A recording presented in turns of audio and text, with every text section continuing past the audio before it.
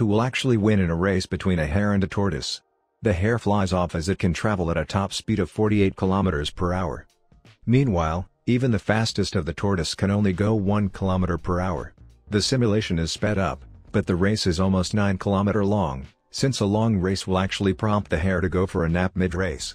After traveling a distance of almost 4 kilometers, the hare would now take a nap by the trees. For the tortoise to catch up, the nap has to be almost 4 hours long. Which is quite a long time for a nap, but even still, after waking up, the hare can easily beat the slow tortoise.